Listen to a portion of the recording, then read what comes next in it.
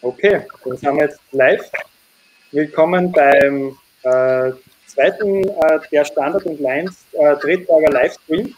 Ähm, äh, es freut mich, also wir haben zum Thema, wie können sich Mountainbiker vertreten, ähm, diesmal regionale Initiativen eingeladen. Ich sage absolut regionale Initiativen. Ähm, es gibt natürlich auch äh, nationalere Initiativen, aber wir wollten uns diesmal anschauen, was, was tut sich so im, im regionalen Raum. Äh, und da gibt es ein paar, hm, doch, möchte ich sagen, Best-Practice-Beispiele, wie sich Mountainbiker organisiert haben und dadurch mehr legale Strecken auch erreicht haben. Ähm, da haben wir dabei die Verena Böhm-Hennes von MTB Innsbruck, äh, den Andreas Mocher von den Wienerwald Trails, den Martin Samek vom Trailwerk Wachau, den Philipp Kettner vom Bikepark Frankenthal und den David Schöckel vom Radclub Eibiswald. Und äh, ich würde einfach gleich gerne so eine kleine Vorstellungsrunde ansetzen, wo, jeder kurz einmal ähm, erzählt, mh, hm, wie seine Initiative aufgestellt ist, ähm, was so der Status quo ist und vielleicht dann mit, mit Mitgliederzahlen oder, oder was man erreicht hat und äh, was vielleicht also der Stein des Anstoßes war, dass man sagt, man, hat sie, man hat eine Notwendigkeit gesehen, sich zu, sich zu organisieren. Ähm, ja, Ladies first würde ich sagen, Verena, darf ich dich bitten, dass du anfängst? Gerne. Ähm, ja, also ich darf heute hier für MTB Innsbruck sprechen. Ähm, Mountainbiken hat in Innsbruck schon über 30 Jahre äh, Tradition und es gab immer wieder verschiedene Interessen, die Interessensgemeinschaften, die sich für Mountainbiken in Innsbruck stark gemacht haben. Und vor ungefähr vier Jahren haben sich dann verschiedene Vereine und Interessen hat sich MTB Innsbruck gegründet, sich eher auf ähm, die Reparatur von Fahrrädern auf ehrenamtlichen Basis spezialisiert hat. Ähm, und MTB Innsbruck übernimmt momentan die Kommunikation mit, oder wir versuchen es, ähm, mit der Politik, mit den Bergbahnen, mit dem Tourismusverband. Letztes Jahr gab es die Thematik mit dem Transport, damit waren wir auch in den Gesprächen involviert um dort Mountainbiken eine Stimme zu geben. Und ähm, wir versuchen uns für ein legales äh, und weites Angebot in Trails einzusetzen. Danke, Verena. Ähm, dann würde ich gleich den Andreas bitten, bitte, für Wienerwald Trails. Wie schaut es aus?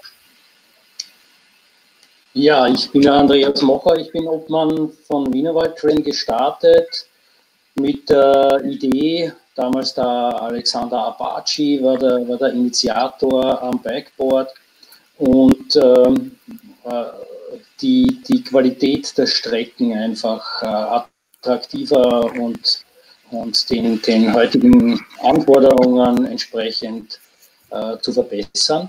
Es gab damals schon auch schon viele gute Trails, die aber natürlich alle illegal waren.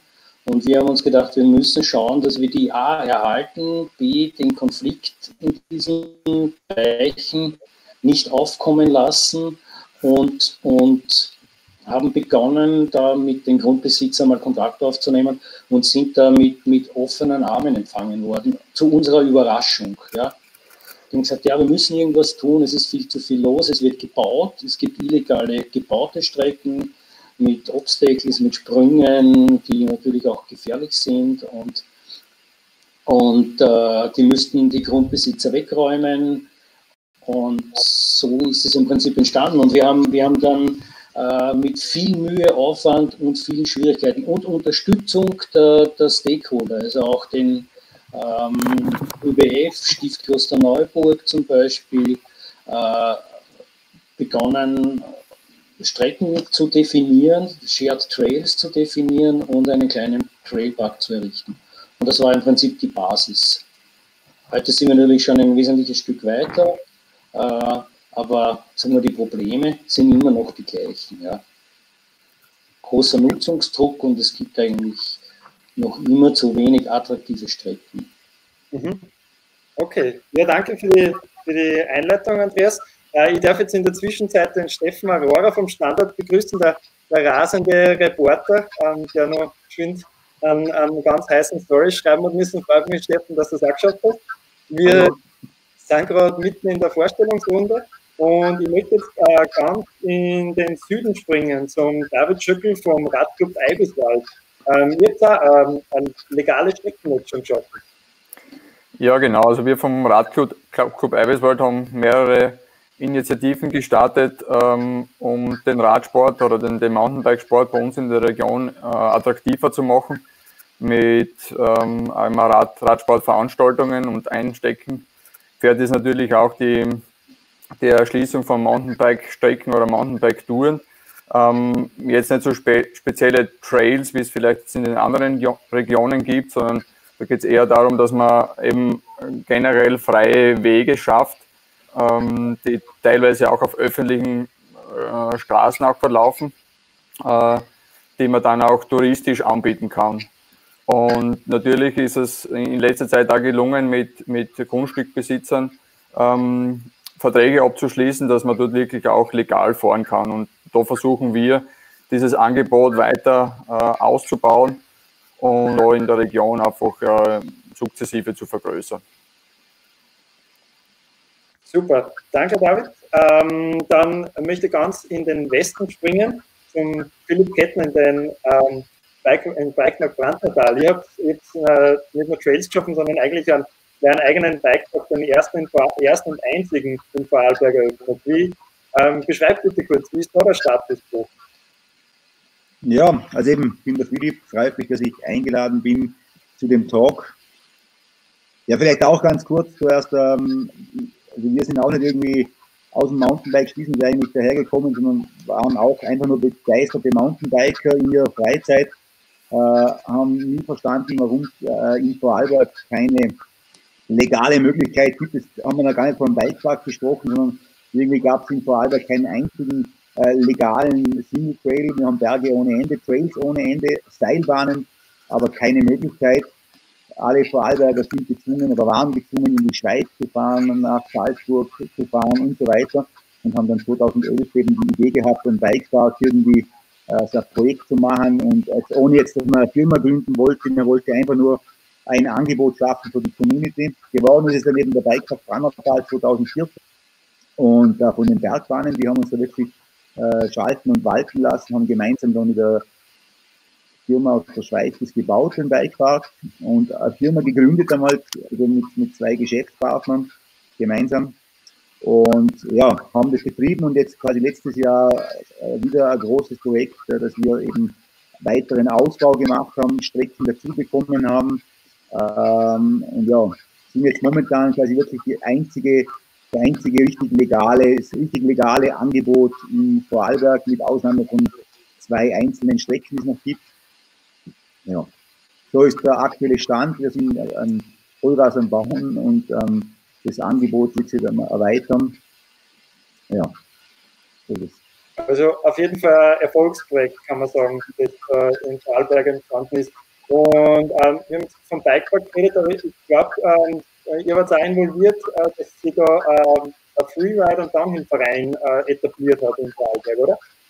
Genau, ja. Also wir haben dann ziemlich schnell festgestellt, dass ähm, ganz zu Beginn, wo es um Behördenverfahren gegangen ist, dass man quasi unterstellt hat, äh, auf ja, unterschiedlichsten Ebenen, dass dieser Sportfahren auf Trails sowieso nur ein paar Adrenalin-Junkies, ein paar wenige betrifft und dass da eigentlich nicht wirklich einen richtige Sportler die das Ganze machen. Und das war der, das war dann der Auslöser für uns, wir gesagt haben, wir brauchen in Vorarlberg einen Verein, den Frühjahr Downhill Verein, der soll so groß wie möglich werden. Wir möchten einfach die Community, der Community ein Gesicht geben und einfach, dass man sieht, okay, da gibt es Sportler, die das Ganze machen. Und ja, ist auch ein Teil von dem Gesamtprojekt. Mhm. Genau. Okay, danke. Ähm, ja, dann last but not least, Martin Samek, äh, Obmann vom Trailwerk Wachau. Äh, das ist in, also nicht nur in Niederösterreich, sondern, glaube in ganz Österreich ein Vorzeigeprojekt. Ähm, und ihr seid, glaube ich, am Weg, vielleicht Österreichs größter Mountainbike-Verein zu werden, oder? Schön wär's. Äh, weil der Philipp gesagt hat, äh, kritische Masse, ja, das, das, das ist auch eines unserer Ziele. Aber jetzt einmal anzufangen, unser Setup ist ein ganz anderes. Äh, es ist so, dass die Wachau international ja ein Begriff ist. Schöne Gegend, gastronomisch, kulturell, landschaftlich äh, sehr attraktiv. Äh, wir also ein Großteil unseres Vereins fahren schon Mountainbike bis zu 30 Jahre jetzt. Und wir waren in der Wachau eigentlich nie geduldet. Eigentlich auch sehr angefeindet. Es ist immer wieder zu Konflikten gekommen. Wir haben eine sehr starke Grundstückseigentümerlobby, Jägerlobby, Försterlobby. Und es war halt, es ist schön bei uns zum Mountainbiken, wunderbare Trails, technisch anspruchsvoll, wirklich fordernd in einer schönen Landschaft. Aber legal war nichts gewechselt, weil wir Konflikte nicht mehr angetan haben, sind aber vom Stift Göttweig lange Zeit geduldet worden. Am Göttweiger Berg, auch in, in anderen, auf anderen Grundstücken äh, des Benediktinerstiftes. Nur ist halt da, wo wir gefahren sind, sind dann zwei große Wanderwege entstanden, der Jakobsweg und der Welterbesteig, mit einer sehr hohen Frequenz an Wanderern. Und dann ist halt einfach, äh, waren auf einem Fleck zu viele Wanderer, zu viele Mountainbiker, das ist sich dann nicht mehr ausgegangen. Äh, vor zweieinhalb Jahren äh, hat das Stift Göttweig dann äh, die Initiative ergriffen und per Tafeln am Anfang deren Grundstücken äh, deutlich gemacht, dass Mountainbiker, Radfahrer generell auf diesen Wegen, Vorstraßen nicht mehr erwünscht sind. Das haben sie halt dann auch so kundgetan und das war es dann quasi für uns. Also wir waren nicht mehr geduldet. Aber fast am nächsten oder übernächsten Tag äh, haben wir den Verantwortlichen für die Ländereien, für die Wälder, den Forstmeister, äh, getroffen im Wald und haben mit ihm gesprochen, äh, dass wir uns jetzt quasi aus Gespräch ist eine Trail Area geworden mit mittlerweile 15 Trails, von ganz einfach bis wirklich ruppig der Christoph weiß, wovon ich rede, 5000 Stunden allein in den Trailbau investiert, mit einer in Österreich nicht, nicht so, so generell üblich ist, mit einem Grundstückseigentümer. Also unser erstes Projekt, die Trail Area Göttberg. Darf ich ganz kurz ah, wir haben, wir haben äh, irgendwo eine Rückkopplung drinnen. Also man versteht den Punkt nicht. Ähm, habt ihr vielleicht YouTube-Stream äh, parallel irgendwo offen? Kann das sein? Ah. sonst würde ich einfach bitten, dass alle ihr Mikrofon abdrehen, außer der, der spricht. Dann haben wir das, die Sache erledigt. Das ist im äh, Bildschirm Mitte unten das linke Symbol.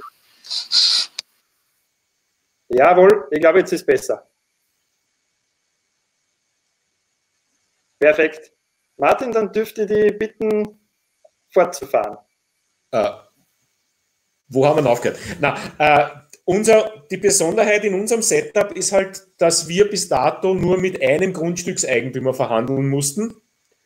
Und dieser Grundstückseigentümer des Benediktinerstift Göttweig stellt uns einen Berg zur Verfügung. Äh, Berg in der Wachau es nicht so hoch, aber einen, einen Berg rund um die Stift Göttweig und da dürfen wir in Absprache mit den Behörden und auch mit dem Stift Trails bauen. Und das ist halt ein Riesenglück für uns. Es ist ein großes Geschenk, aber auch, wie es mit den Geschenken halt so ist, äh, auch mit einer sehr großen Verantwortung. Aber bis jetzt läuft es sehr gut. Wie gesagt, wir haben über 5000 Stunden jetzt schon gegraben mit null Baggerstunden mit einem Wegenetz, das jetzt doch an 25 Kilometer mittlerweile. Und ihr habt da die Erlaubnis vom, vom Stift, was man auch mal sagen muss, äh, bekommen, dass ihr 15 Trails auf die 150 Kilometer macht. Also eigentlich ist der, der Hügel jetzt voll mit Trails. Ähm, und es ist trotzdem nur Platz für, für alle anderen Nutzergruppen eigentlich auch. Ähm, also das ist schon ziemlich Vorzeigeprojekt. Und ganz kurz, äh, weißt du eine Mitgliederzahl vom, vom Trailwerk Wachau? Also wir haben jetzt im Verein 200 Mitglieder, knapp 200 Mitglieder. Wir haben aber äh, uns das letzte Jahr als Probezeit herausgenommen und haben sehr wenig über Trailwerk Wachau Anrainern, Wanderern, äh, Leuten, die nicht Mountainbiken äh, bekommen, dort was zu ändern, dort die Streckenführung vielleicht ein bisschen Geschwindigkeit auszunehmen etc. Das haben wir dann auch gemacht. Und jetzt fühlen wir uns fit und bereit, da ein bisschen mehr zu kommunizieren. Aber bis jetzt war es eher low profile. Okay, alles klar.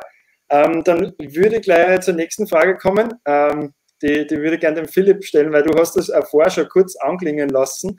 Äh, warum, warum ist, also viele Biker sind ja unterwegs und fahren sehr gerne, äh, aber warum ist wichtig, dass man sich vielleicht die Arbeiter antut und sich organisiert? Also, dass man auch die, die Zeit jetzt nicht nur ins Fahren investiert, sondern vielleicht ein bisschen Zeit in äh, Struktur investiert, so wie in Verein. Ähm, ja, warum, warum glaubst du, ist das wichtig? Das war bei euch, wie ich so rausgehört habe, auch ein Knackpunkt. Ja, hört man mich?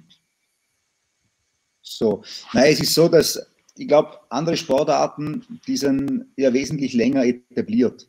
Und das Mountainbiken ist ja als solches ja relativ jung und die ganze Trail-Geschichte Trail sowieso. Und uns fehlt vielleicht, ich weiß nicht, ob das überall so ist, aber in Vorarlberg fehlt im Prinzip die, die Lobby einerseits, oder wenn man das vergleicht mit äh, eine ganz krasse Geschichte, wenn man die Jagd, die Jäger anschaut, ist ja jetzt nicht, dass es ein Hobby wäre, aber wie die sich, wie die organisiert sind jetzt, oder? Und die natürlich nicht alle Freude haben an Mountainbikern, die durch den Wald fahren. Aber auch zum Beispiel, wenn man sieht, äh, wie stark der Alpenverein ist, der mittlerweile sehr, sehr pro Mountainbike ist, muss man, also, aber nicht immer schon so. Aber wie gut auch das Wandern, die ganzen anderen äh, ja, organisiert sind, ist einfach das Problem, dass das bei den Mountainbikern zumindest in Vorarlberg, wie gesagt, so gut wie nicht stattgefunden hat. Nicht in dieser Art des Mountainbikens, wie wir das betreiben. Dieses klassische auf Forststraßen äh, Mountainbiking, da gibt es eine relativ äh, eine gute Vereinslandschaft äh, in Vorarlberg, große Vereine, da gibt es Rennen, das ist akzeptiert, das kennt man, ähm, da gibt es auch nicht wirklich, glaube ich, mehr Konflikte, weil sobald irgendeine Forststraße als Mountainbike-Route genehmigt ist, ähm, fühlt sich da auch niemand unter Druck gesetzt. Ja, und das ist, glaube ich, das Wichtige an Organisieren, dass man eben gesehen wird und dass man auch wirklich nach außen ähm, entsprechend ja, auftritt als, als geschlossene, als, als, Gemeinschaft. Und was auch noch wichtig ist, komplett andere Seite, ähm, Verhalten auf Trails, wie führe ich oder, oder, was führt zu Konflikten, einfach die Community, in dieser Community zu diskutieren, was sind die Do's und Don'ts, wie, äh, die Möglichkeit hat man eigentlich nur, wenn man sich äh, trifft, wenn man sich organisiert und eben gerade auch, wir haben sehr, sehr viele, gerade in unserem Verein, wir haben auch um die, äh, ja, bei 120, 130 Mitglieder, sehr viele Jüngere auch dabei, die in den Sport einsteigen und gerade auch natürlich äh, zum Teil auch, sage ich mal, Hemmschwellen geringer sind als wie jetzt von betagteren Sportlern wie meiner Seite. Sprich, die wissen auch oft einmal nicht, wie gefährlich manche Sachen sind. Ähm, Gerade Thema Bikepark, Sprünge und so weiter, auch denen was mitzugeben. Also ich glaube, es sind zwei wichtige Sachen vom, vom Organisieren. Einerseits eben, dass man geschlossen auftritt, damit man was erreichen kann, damit man akzeptiert wird. Und einerseits, wie Nachwuchs auszubilden, äh, ja, was, wie, auf was ist es zu achten, Fahrtechnik und so weiter. Also das bieten wir auch an zum Beispiel. Wir haben auch so Camps und so weiter. Also ich glaube, das sind die wichtigen Punkte. Ja. Ja, super, danke sehr. Äh, bevor ich jetzt dann gleich an den Stefan die, die Moderationsleitung abgebe, äh, hätte ich noch eine Frage an den David, ähm, weil es angesprochen worden ist von Philipp, dass äh, zumindest in Vorarlberg die Vereine, ähm, wo man mehr auf Vorstraßen unterwegs ist, äh, besser organisiert sind. Jetzt bist du vom, vom Radclub Eibiswald und ihr habt ähm, ein legales Mountainbike-Angebot geschaffen, das sich eher auf, auf Vorstraßen bewegt. Ähm, kannst, teilst du da den Eindruck, dass die Vereine, die ähm, ich, ähm, eher Vorstraßen unterwegs sind, besser organisiert sind? Ähm, das kann ich, kann ich so nicht, nicht beurteilen, dass die besser organisiert sind. Wir, wir versuchen einfach so, dass wir ähm, im, im Verein äh, herrscht eine super Gemeinschaft da hat ähm, jeder sein, sein Part so, so gesehen zum, zum Machen oder macht ihn sehr, sehr gut.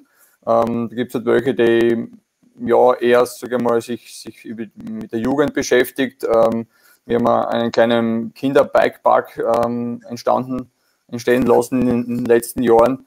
Ähm, gibt es Leute, die sich da sehr stark einsetzen und dort den, den Bikepark erhalten und weiter ausbauen gibt es andere, die dann mit den Grundstückbesitzern besseren äh, Kontakt haben und, und dort äh, die Fäden ziehen und mit denen quasi Absprachen treffen.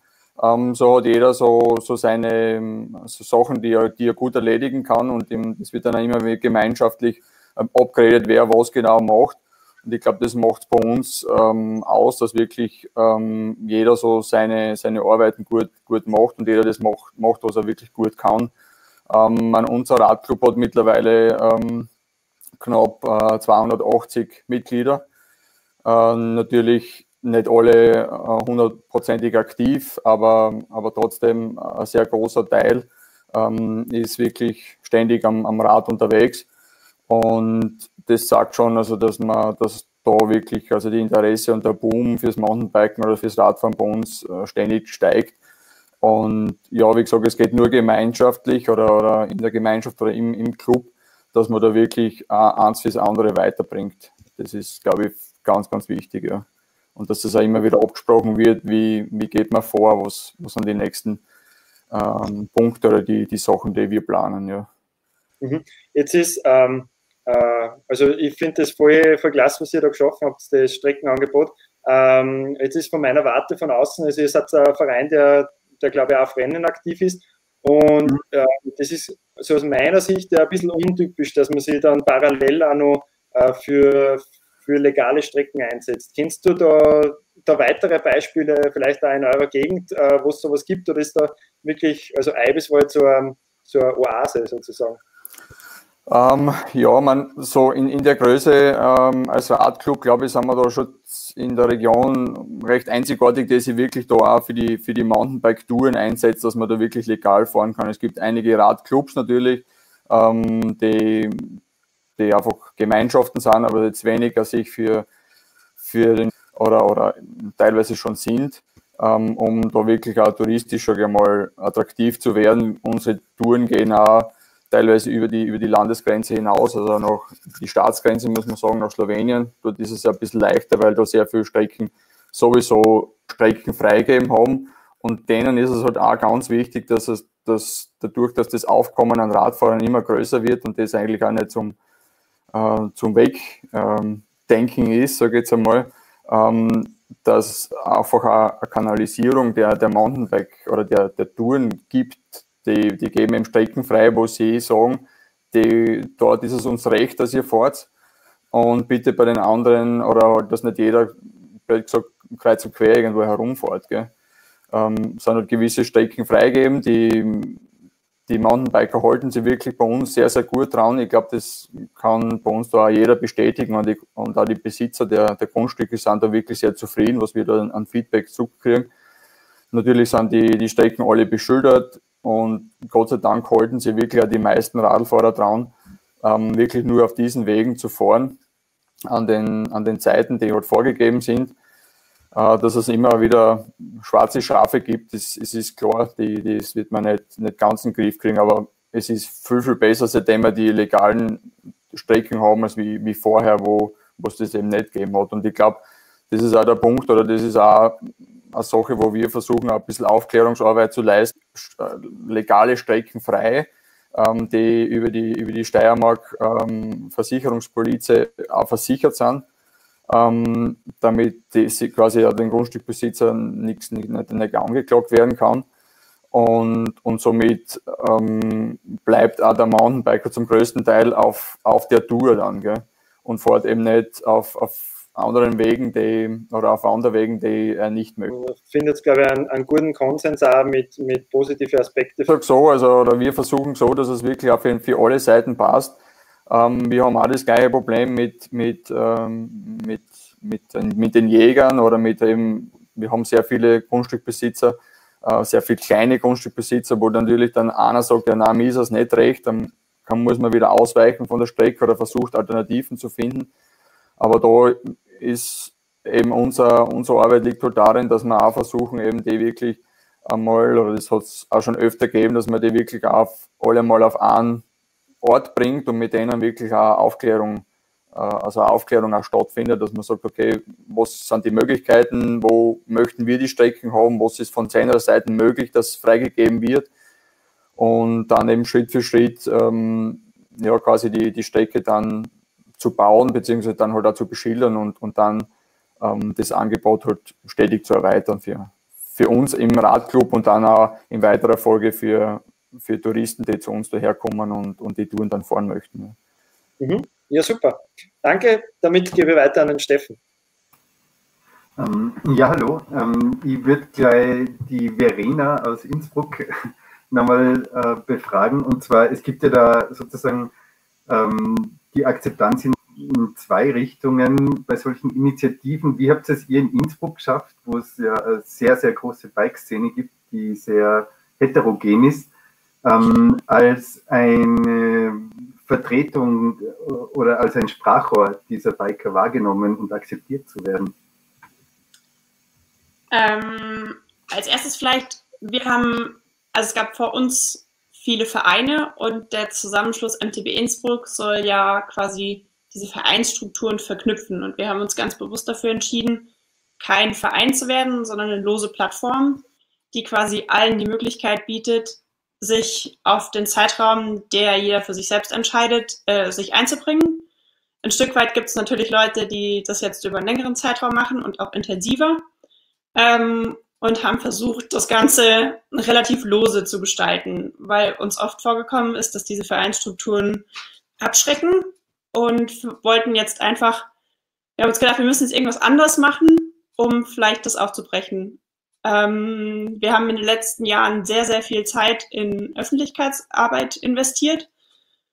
Das heißt, erstmal in der Bike Bubble selbst die Biker, also möglichst viele Informationen von der Stadt, vom Tourismusverband zu sammeln und die quasi an die Biker zu tragen und damit quasi in erster Instanz ähm, die Biker zu informieren, was überhaupt momentan Status quo ist. Also wie, es gibt ja immer viele Gerüchte und der hat das gesagt und die Nordkettenbahn hat das und das jetzt überlegt, aber wie es halt wirklich ist, darüber gab es keine regelmäßige, in Anführungszeichen, Berichterstattung. Und das war uns wichtig, da quasi eine Art Informationsquelle zu sein. Und ähm, wir bemühen uns da auch, äh, relativ up-to-date zu sein. Und dafür braucht es auch gleichzeitig intensiven Austausch mit der Stadt. Stadt heißt ja bei uns ähm, zum einen die Politik, die Stadtpolitik plus der Tourismusverband plus der Bikepark. Ähm, alles, was hier um Innsbruck so gibt, ähm, quasi in regelmäßigen Gesprächen, in einem intensiven E-Mail-Verkehr mit den Jungs von Crankworks, dass man da Sachen auf die Reihe kriegt und auch Initiativen startet, um Mountainbiken sichtbar zu machen. Also auch Artikel gemeinsam erstellt und da halt ja präsent zu sein. Und ähm, wie war die Rückmeldung sozusagen aus der Szene anfangs? Hattet ihr da zu kämpfen oder, oder wie würdest du diesen Entwicklungsprozess äh, beschreiben? War das schwierig oder einfach oder was waren so Meilensteine? Ähm, am Anfang und auch nach wie vor ist die Skepsis natürlich ziemlich groß. Das sind jetzt wieder welche, die das wieder versuchen und ein Stück weit haben wir am Anfang auch, oder sind ein Teil des Kernteams ist auch ähm, über die letzten Jahre, schon bevor sich MTB Innsbruck gegründet hat, aktiv gewesen. Und ähm, die Skepsis ist nach wie vor groß, weil wir, dadurch, dass wir kein Verein sind, natürlich auch nicht ähm, alle Bedürfnisse quasi abdecken können und alle Ideen quasi, die in der Bike-Szene rumschweren, abdecken können. Und ähm, wir versuchen aber immer ein möglichst breites Spektrum anzubieten. Und ja, äh, Meilensteine, puh, schwierig zu sagen. Ähm, ein großer Meilenstein war letzte Woche. Wir durften quasi das erste Mal in der TT unsere Position darstellen. Ein großer Meilenstein war, bevor MTB Innsbruck entstanden ist, mit der Mountainbike-Initiative Tirol, der Arzler Alm Trail äh, in Zusammenarbeit mit der Stadt quasi ein erster legaler Trail. Ähm, ja, grob so, würde ich sagen.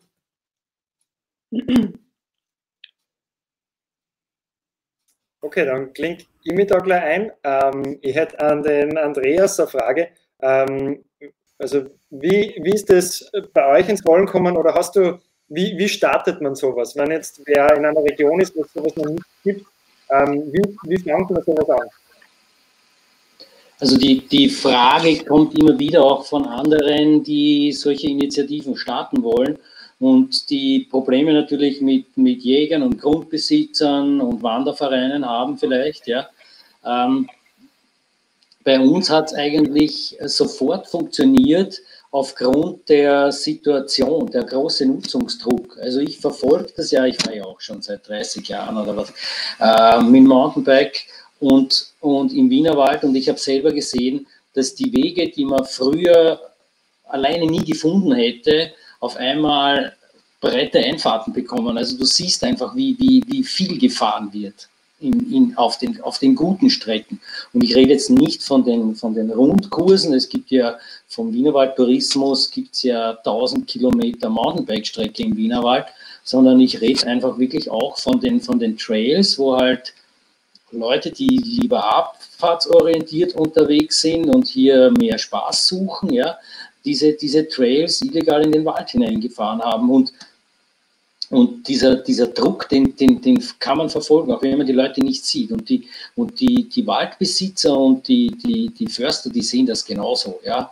Und wissen genau, wie viel da zusätzlich dazukommt. Und das hat uns eigentlich schon die Tür geöffnet, dass wir mal ins Gespräch gekommen sind mit den Grundbesitzern. Und es gab dann, äh, ich glaube, es war 2014, eine, ein, ein, großes Treffen bei den österreichischen Bundesforsten, wo eigentlich alle Interessensgruppen dort vertreten waren. Und, und äh, wir haben dort eigentlich beschlossen, ein attraktiveres Angebot zu machen. Und zwar die Idee, die Leute nicht durch Verbote, weil die Idee ist natürlich auch, stellen wir die Polizei in den Wald ja, und sagen ihnen, hier ist es verboten zu fahren. Die Menschen wissen das ja gar nicht. Sie wissen ja gar nicht, dass, was sie hier tun. Ja? Es, gibt, es gibt eine gute Beschreibung auf einer Webseite vom Innenministerium, äh, was erlaubt ist und was nicht. Ja? Aber die kennt ja keiner. Ja? Auch die Fairplay-Regeln, die immer oder schon seit Jahrzehnten fast äh, für den Wienerwald gelten, kennt kaum jemand. Ja? Und jetzt, äh, wie können wir versuchen, diese, die Konfliktsituationen, den Nutzungsdruck die Begegnung zwischen Wanderern und Mountainbikern, vor allem in den, in den, in den dichten Zeiten, Sonntagnachmittag, ja, ähm, besser in den Griff zu bekommen. Und das geht nur durch ein attraktiveres Angebot für jene, die genau das suchen. Und das haben wir eigentlich in Zusammenarbeit nur mit dem, mit dem Wienerwaldtourismus, das ist der Pächter von all diesen Strecken, ja, und, und äh, den Grundbesitzern und Biosphärenpark Wienerwald. Das ist ja eine eigene Organisation, weil der, weil der Wienerwald Biosphärenpark ist. Und mit, dieser, mit diesen Stakeholdern gemeinsam hab, haben wir das geschaffen. Und, und die Lösung, wie gesagt, die Lösung ist eigentlich, geht nur über den Grundbesitzer, weil der Grundbesitzer muss es erlauben. Das muss man verstanden haben. Ja? Das Wegerecht, das, das Betretungsrecht von 1977 für die Fußgänger hat nichts mit dem Radfahren zu tun. Und, hat auch, und man kann das auch nicht gleichsetzen und sagen, okay, da fordere ich jetzt auch, dass das für die Radfahrer und überall gilt. Das ist, das ist auch nicht nett, sage ich einmal, ja, weil, weil, weil durch meinen, meinen Garten will ich auch nicht, dass die Leute durch, durchlatschen oder durchfahren. Und, und das muss man auch irgendwo verstehen. Und was ich auch noch sagen möchte, es gibt auch eine große Verantwortung aufgrund des Forstgesetzes für die Grundbesitzer im Wald, von, von Wäldern, ja, weil sie müssen den Waldcharakter erhalten. Wenn da jetzt Bauwerke gemacht werden, wenn da jetzt Strecken hineingefahren werden, dann, dann ist dieser Charakter nicht mehr erhalten und dann, dann muss der, der, der Waldbesitzer, dazu ist er aufgrund des Forstgesetzes verpflichtet, das entfernen. Wenn er das nicht tut, dann entsteht eine Haftung. Vorher entsteht ja gar keine, Haft, keine Haftpflicht. Ja? Also wenn ich illegal irgendwo runterfahre und mich haut auf, ist es mein Pflicht. Das ist, der Haftung, gibt es ja nicht. Aber, aber in dem Moment, wo, wo, der, wo der Waldbesitzer damit konfrontiert ist, dass er einen Obstdeckel nicht entfernt hat, dass er eine Strecke nicht beseitigt hat, die illegal hineingefahren wurde, dann hat er schon auch Schwierigkeiten. Und das muss man verstehen. Ja. Mhm. Glaub, und mit unserer Initiative, Pinske, mit unserer Initiative haben wir es geschafft, wirklich attraktive Strecken im nördlichen Wienerwald und am Ahninger äh, zu schaffen, legale zu schaffen und, und, und auch die Attraktivität so, so hinzutrimmen und, und so gute Strecken zu bauen, dass die Leute bevorzugt dort fahren. Und das hundertprozentig geht es nie, aber hat einen tollen Effekt, ja. Mhm. Na, das ähm, ist, glaube ich, ein guter Punkt, da, dass man das Grundlegende versteht, dass man einfach das Einverständnis vom, vom Grundeigentümer braucht. Ähm, ich möchte jetzt äh, gleich zum Martin weitergehen. Hast du, hast du konkrete Tipps, ähm, wann wer so, so eine Initiative oder ein Verein starten möchte? Also was, was würdest du ihm raten?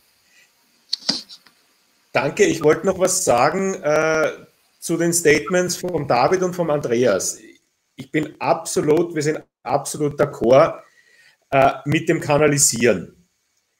Äh, und wie es, auch, wie es auch der Andreas richtig gesagt hat, es beginnt beim Grundstückseigentümer. Wenn du dem Grundstückseigentümer keinen Mehrwert präsentieren kannst, das ist das Kanalisieren, dann wird es äh, nicht im, in den meisten Fällen nicht im Interesse des Grundstückseigentümers sein, dass dort Wege entstehen, Wege genutzt werden dürfen, dass man sich halt dort als Mountainbiker bewegt. Äh, es ist meiner Meinung nach auch ganz klar zu differenzieren zwischen Bikepark und Sportanlage und Trails. Das ist, das ist meiner Meinung nach auch ganz wichtig. Äh, das eine ist wirklich eine Sportanlage mit Einbauten, massiven Sprüngen etc. Und auf der anderen Seite so gut wie naturbelassene Trails. Äh, wir sagen der Vereins intern immer minimalinvasiv. Schaufelkrampen fertig, die halt dem, ich, ich, möchte jetzt nicht irgendwie ein Lager aufspalten, aber diesen ursprünglichen Mountainbiken äh, eher gerecht wird. Wir sind auch sehr viel in, in Mountainbike-Parks unterwegs. Äh, wenn wer meine Historie kennt, äh, ich bin sehr mit Mountainbike-Parks verwachsen, aber äh, da reden wir wirklich von, von zwei Paar Schuhen. Also Andreas, super formuliert, ohne Mehrwert für den Grundstückseigentümer wird, wird man so eine Initiative gar nicht beginnen können. Und das erste Gespräch ist immer mit dem Grundstückseigentümer. Äh, ich habe, wir, wir, wir, unterhalten uns ja sehr viel mit, äh, mit Besuchern bei uns in der Trail Area Göttweg und, und sind immer wieder Gruppe von Leuten da, die sagen, ja, wir haben jetzt ein, zwei, drei, vier Trails baut, jetzt äh, steht der Grundstückseigentümer da und sagt, was macht ihr da? Und wir wollen das jetzt so äh, rückwirkend legalisieren. Okay, äh, da ist man in einer ziemlich verzwickten Situation. Ich sage nicht, dass das nicht geht, aber es ist halt äh, ein Ansatz, so wie es der Andreas auch gesagt hat, ich mag auch nicht, dass in meinem Garten irgendwer ja, irgendwas baut und mich dann nachher erst fragt, ob man da was machen darf. Also erster Schritt definitiv Grundstückseigentümer. Zweiter Schritt, und das war halt bei uns eine sehr glückliche Fügung, äh, weil wir auch vorher von Vereinstrukturen gesprochen haben. Äh, wir haben das große Glück gehabt, dass bei uns im Vorstand, der in den Anfangstagen aus sechs Personen bestanden hat, da gibt es einen, einen Touristiker drinnen, da gibt es einen Diplomingenieur für Tiefbau drinnen, da gibt es einen Juristen drinnen, da gibt es einen ITler drinnen. Also auch dieses, äh, also das, das Zusammenspiel von, von, einer, von einer Kerngruppe von Leuten, das ist auch extrem wichtig, dass man da sehr, sehr breit aufgestellt ist. Und äh, was ich auch immer dazu sagen muss, das ist unsere Erfahrung, man muss extrem engagiert sein und es ist wirklich nicht zu unterschätzen. Die Rennerei, die Anwaltsstunden, bis man mal einen Vertrag aufgesetzt hat, die Behördenwege, äh, da muss man schon eine sehr ausdauernde und reife Persönlichkeit sein. Und ich habe es auch immer wieder gesagt im, im Freundeskreis, vor 20 Jahren wäre ich sicher nicht die Person gewesen, die da am runden Tisch mit Jägern, Förstern, Grundstückseigentümern, Anwälten, die vielleicht ein bisschen traditionell denken und konservativ denken. Also ich wäre, vor 20 Jahren wäre ich davon gelaufen. Und wenn man da eine erwachsene Gruppe an Personen, die ein gleiches Ziel verfolgt, an einen Tisch bringt, dann wird es auch meistens was. Aber ausschlaggebend ist natürlich der Grundstückseigentümer. Der Rest, unserer Erfahrung nach, geht dann fast wie von selbst. Also, dass man wirklich dann Leute auftreibt, die ihr eigenes Werkzeug mitnehmen und äh, nach ziemlich losen Vorgaben dann äh, Trails in die Landschaft zimmern, das geht. Da muss man nur aufpassen, dass sie in die richtige Richtung marschieren und sie dann äh, motiviert hält. Aber ja, zuerst einmal einen Konsens zu finden, das ist das Um und Auf. Und wie gesagt, abschließend zuerst fragen und dann bauen. Mhm. Darf, ich, darf ich da noch was ergänzen? Gerne. Ja, also äh, das ist schon wirklich ein, ein Problem, das wir auch haben. Nämlich äh, nicht nur Mitglieder, wir haben jetzt über 600 Mitglieder heuer, ähm, Mitglieder aufzustellen, die, die wirklich mitarbeiten. Und da geht es jetzt nicht so sehr um einen Trailbau, da findet man eher Leute, die, die, die arbeiten, sondern es geht wirklich um die, um die, die Backoffice-Geschichten. Ja? Da brauchst halt einen, der auf der Webseite was tut, da brauchst halt einen, der Facebook pflegt und, und solche Dinge. Ja, der, der Mitglieder verwaltet, das, das ist heftig. Ja. Und das, das, das zu schaffen. Und noch ganz kurz, warum Verein? Ich brauche halt eine Körperschaft, die, die, die einen Vertrag unterschreiben kann. Ja. Äh, das geht mit einer, mit einer Plattforminitiative, so wie in Innsbruck, äh, das haben wir auch wollen, ja, weil Verein ist was, was, was die Mountainbikes sind, nicht die typischen Vereinsmeier, die Mountainbiker. Ja. Die, die, das kostet uns vielleicht auch Mitglieder, diese Einstellung, aber, aber es geht nicht ohne. Es ist halt einfach so, ja. Und, und da muss man durch, ja. Also ich glaube, äh, zusammenfassend kann man sagen, also eh, äh, wie der Martin gesagt hat, äh, zuerst fragen, dann bauen. Also ähm, mir ist jetzt aufgefallen, es ist fast überall durch einen Nutzungsdruck entstanden. Ähm, David, jetzt wollte ich bei dir nachfragen, da weiß ich nicht so genau, ist das auch bei euch das äh, durch den Druck entstanden oder wart ihr da irgendwie aktiv, also proaktiv eigentlich? Äh, bei uns eher aktiv. Also der Nutzungsdruck war, war natürlich auch da, aber eher von den, ähm, ja, dass es eher so war, dass ähm, dass schon immer mehr, mehr Mountainbiker natürlich auch geworden sind. Ähm, und die halt einfach, dass man gesagt okay, wir wollen, wir es äh, kanalisieren, aber eher war es dann so, dass wir hingegangen sind, okay, wir wollen wirklich auch äh, gute, gute Wege freigeben. Ähm, und, und dann ist wirklich aktiv ähm, nach diesen gesucht worden und, und auch aktiv dann die, die Grundstückbesitzer ähm, angegangen waren und gesagt haben, kann man da nicht was machen, dass man, dass man zum Beispiel jetzt auf irgendeine Almhütten rauffahren kann und, und, den, und den Wanderweg zum Beispiel runter, weil man den ja natürlich klasse nutzen kann, der vorher nicht erlaubt war. Da ist wirklich aktiv hingegangen worden und, und mit dem dann eben das ausgesprochen und, und Gott sei Dank hat es dann da über Übereinkommen gegeben, ja. Ähm, Jetzt hätte ich eine Frage noch an Philipp, weil du vorher Alpenvereiner ähm, genannt hast. Ähm, da ist jetzt die Frage, ihr habt alle ähm, regionale Initiativen gegründet. Ähm, Gibt es oder hätte es äh, irgendwie eine übergeordnete Stelle, also einen größeren Verein oder Verband gegeben, der euch da unterstützen hätte können? Ganz ehrlich, das haben wir eigentlich nie nie danach gesucht. Wir haben uns da ziemlich schnell einmal selber organisiert. also das, das, dass wir auch nicht so, sage ich mal, grundsätzlich, äh, ja, wie schon erwähnt, äh, typische Vereinsmenschen jetzt sind, haben wir jetzt auch nicht wirklich einen Zugang gehabt zu Vereinen, die uns da unterstützen könnten. Haben uns einfach irgendwie alles selber in die Hand genommen. Mir würde jetzt da auch niemand einfallen, zumindest nicht bei uns in Vorarlberg, der dir da helfen zur Seite stehen könnte, weil bei uns so, ich sage mal, das einfach so war, dass diese Art des Mountainbikens, dieses Trail, also Biken auf dem Trail, von den Vereinen, die ich kenne, nicht wirklich, äh, nicht verstanden ist das falsche Wort, aber ja, es war da zu wenig präsent. Aber das ist zu cross-country-mäßig. Ich hätte da niemand gewusst, der uns hätte helfen können. Äh, vielleicht darf ich die Frage noch ganz kurz in die Runde geben, bevor ich an Stefan weitergebe. Ähm, äh, warum habt ihr äh, regionale Initiativen gegründet. Äh, hätte es da irgendwie was Übergeordnetes gegeben, wo ihr euch hinwenden könntet? Oder, oder warum ist eben die regionale Initiative entstanden? Mache ich es nach dem First Come, First Serve Prinzip.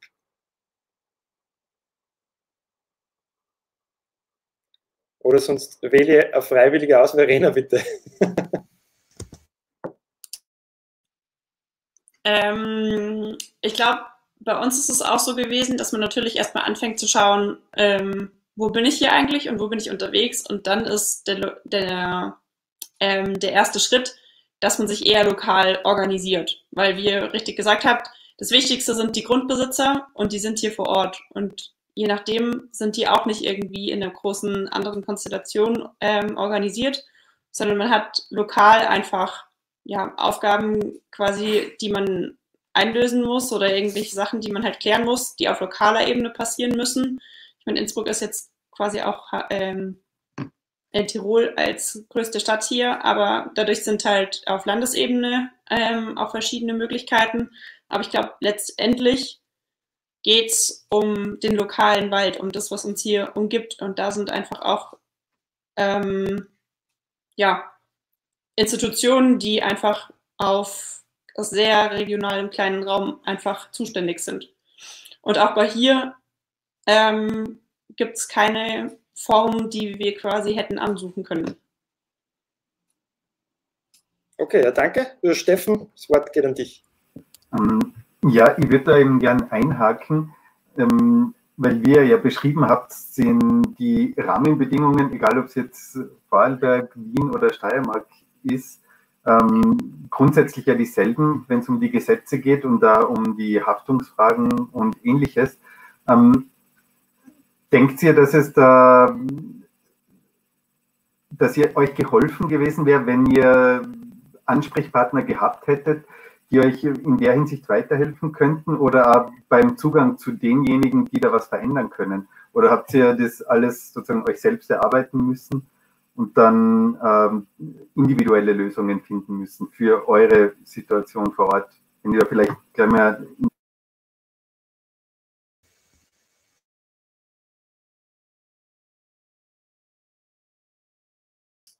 ich glaube, das Mikrofon ist nicht ein. Geht's jetzt? Hört man mich? Hallo? Ja, jetzt geht's. Jetzt geht's. Äh, na, bei uns war es wirklich äh, eine Aktion von null weg. Wir haben zwar überlegt, ob wir uns äh, anschließen sollen an andere Initiativen, ob es da die Möglichkeit gibt und Wienerwald Trails ist eines unserer großen Vorbilder, das wissen wir ja.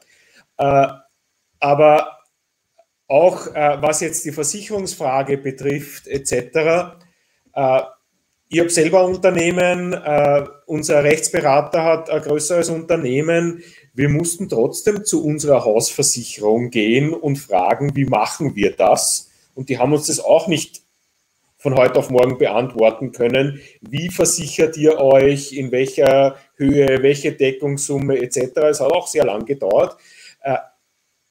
Da ist, glaube ich, jedes Projekt so individuell, dass man das auch nicht über einen Kamm scheren kann.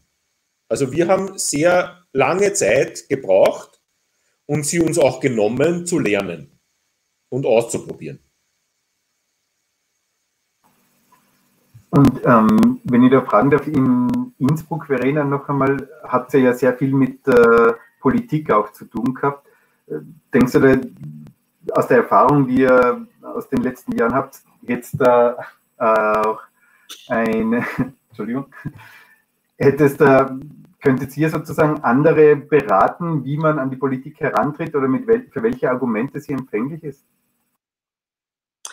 Ähm, was ich glaube, es ist teilweise politisch natürlich eine sehr emotionale und individuelle Sache. Was wir gemacht haben, wir haben unglaublich viele Studien gesammelt. Innsbruck hat eine relativ eine große Sportuni, ähm, die natürlich da aktuell auch Studien erstellen. Und wir haben einfach versucht, das jetzt zu sammeln. Und das sind schon auch ähm, Sachen, die wir gerne teilen und weitergeben. Also wo es, keine Ahnung, es gibt vom Arzler Alm Trail zwei, drei Sachen, die quasi dieses Lenkungsprinzip dokumentieren und äh, wissenschaftlich belegen.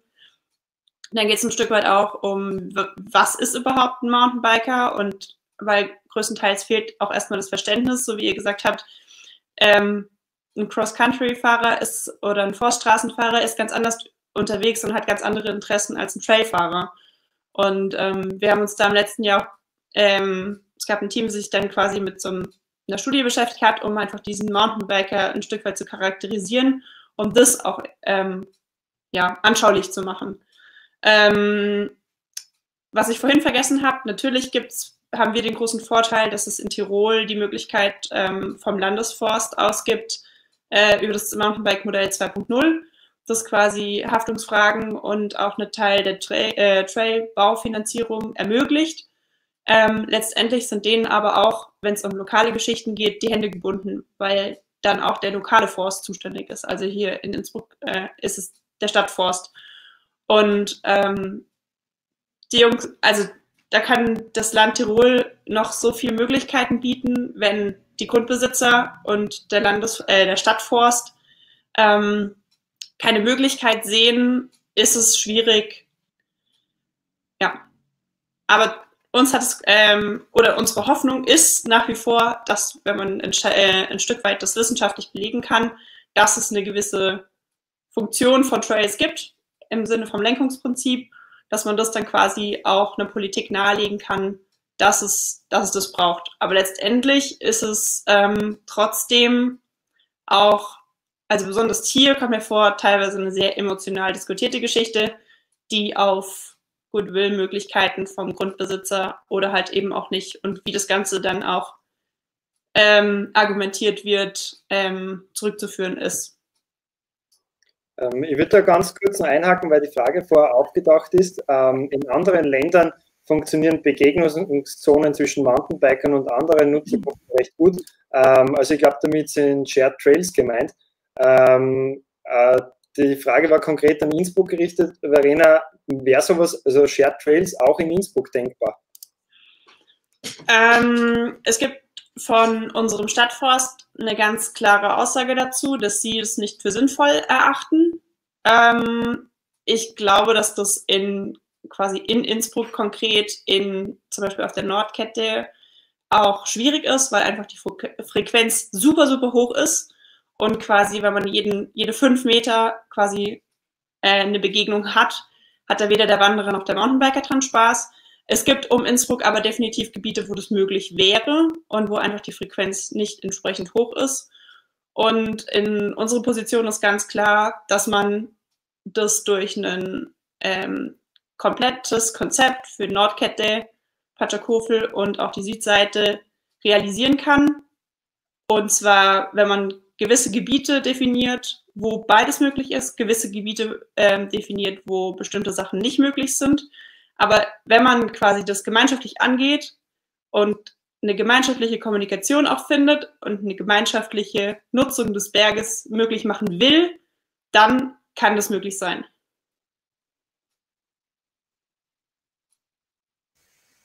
Darf ich, darf ich kurz noch etwas sagen äh, zum Terminus Mountainbike Trail. Wir haben die Erfahrung gemacht, dass es sehr schwierig war, einer Gebietskörperschaft zu übersetzen, was ein Mountainbike Trail ist. Und der, das, das war eigentlich äh, sehr viel Arbeit für uns und auch eine Gratwanderung, äh, ins Amtsdeutsch zu, zu übersetzen, was wir vorhaben. Und bitte korrigiert mich, aber unseres Wissens nach äh, gibt es da keine Übersetzung. Die wissen zwar, was eine Forststraße ist, die wissen vielleicht, was ein Wanderweg ist, aber, aber was wir da befahren wollen, haben sie in ihrem Repertoire nicht. Und das, das macht es halt natürlich schon sehr schwer. Ich glaube, das würde ja, also äh, Philipp ist jetzt ja da im Brandnertal eigentlich dann einen ganz radikalen Weg gegangen. Also, wenn es kein Bikepark gibt in einem Land, also wie erklärt man das dann Behörden? Das wäre ganz interessant. Ja. Gut, was wir gemacht haben, also begonnen hat, also auch mit einem wirklichen guten Konzept, das grafisch auch aufgearbeitet, wunderschön. Dann hat es begonnen, ich meine, ich es war schon einmal so, dass man unterscheidet zwischen Bikepark und Trail, sehe ich auch so. Ja. Wobei wir jetzt ja, wobei auch, es ging uns ja auch um Trails, nicht nur jetzt typische Bikepark-Geschichten. Aber was wir noch machen mussten zu Beginn, wir haben zum Beispiel dieses das Wort Downhill, haben wir aus unserem äh, Sprachgebrauch eliminiert. Wir haben es nicht verwendet irgendwo äh, in der sämtlichen Kommunikation, ähm, weil wir davon überzeugt äh, waren, vielleicht immer noch sind, dass das irgendwie negativ behaftet ist, das Wort. Negativ im Sinne von zu gefährlich, zu schnell, zu radikal.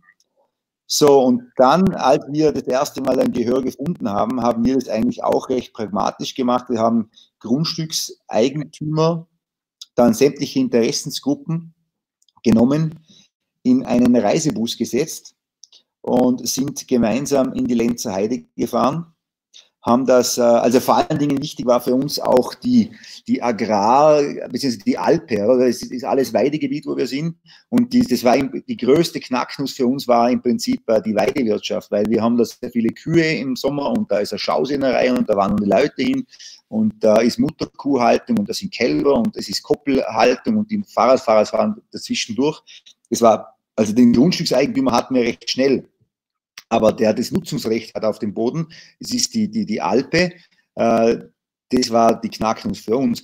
Und die haben wir eingeladen, wie gesagt, sind in die Lenzer Heide gefahren, haben das wunderbar arrangiert, haben da drüben sofort einen Trailbauer getroffen, der gesprochen hat, haben äh, den, irgendwie jemanden von den Bergbahnen und zu guter Letzt haben wir sogar noch einen Landwirt getroffen, der seine Kühe ebenfalls mitten im Gebiet hat. Und dann ist eigentlich, das war das Wichtigste vielleicht vom Ganzen, der hat wirklich gesagt, ja, wie das läuft, wie sich Kühe, äh, ob die sich bedrängt fühlen vom Mountainbike und so weiter. Ja, das war im Prinzip dann unser Schlüssel zum Erfolg, dass wir die Leute eingepackt haben und woanders hin das erklärt haben. Und plötzlich war es dann so, dass im Prinzip auch Leute, die den Sport nicht machen, auch heute bestens darüber informiert sind und auch schon unser, unser, sage ich mal, unser Mountainbike-Fachjargon verwenden, wenn die mit uns reden. Also die wissen genau, wenn man von einem Drop spricht, dass ein Drop ist und, und ja, also das ja, die haben wir so weit gebracht. Also ich habe das Jargon in der, in der Agrargemeinschaft bei euch schon ziemlich, ziemlich weit gepusht. Ähm, also so, so ähm, Fazit ähm, mit Best Practice Beispiele arbeiten und die herzeigen, oder? Das hat auf jeden Fall bei uns, äh, bei uns gewirkt. Und was halt schon auch so war, ich meine, noch einmal gänzlich zu unterscheiden, sage ich mal, wie jetzt Wienerwald Trails, wo es darum geht, der urbaner Raum, ähm, extremer Nutzungsdruck, äh, ich sage mal, das ist nicht kein touristisches Angebot, sondern wirklich für ein Naherholungsgebiet, für die, also zumindest so stelle ich mir das Ganze vor. Haben wir in Vorarlberg übrigens auch die Regionen, wo jetzt eher nicht touristisch sind, wo sehr äh, die, äh, enge Bevölkerungsdichte ist, im, im Vorarlberger Rheintal zum Beispiel, wo wir dieselbe Situation haben wie jetzt in Wien, viel, viel kleiner logischerweise, also, weil äh, wen, viel weniger Einwohner sind, aber auch wenig Platz und wo sich die Mountainbiker quasi äh, nicht Touristen, also wirklich die, die, die, die ortsansässigen Mountainbiker, die Trail suchen, also die, diese Problematik kennen wir auch.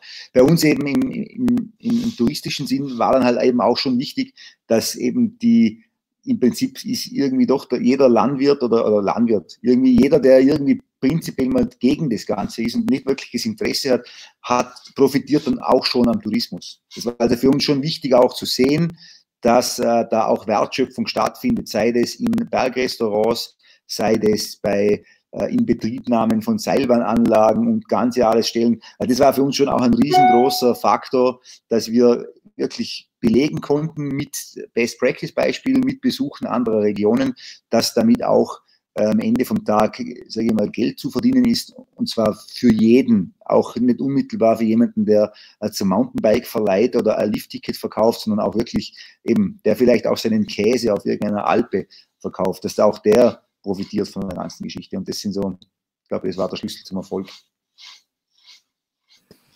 Darf ich da was, darf ich da was ergänzen? Zu, zu, zu dem Thema Verständnis. Ähm, äh, unseres Sprachgebrauchs, ja, und auch, auch Vorstellung, was wir da tun.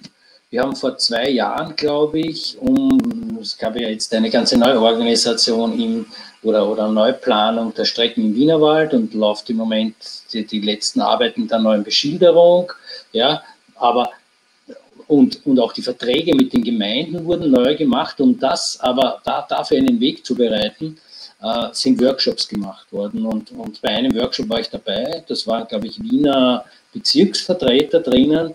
Und, und man glaubt nicht, wie wenig Vorstellung die von dem haben, was wir da machen. Die finden das abartig, ja.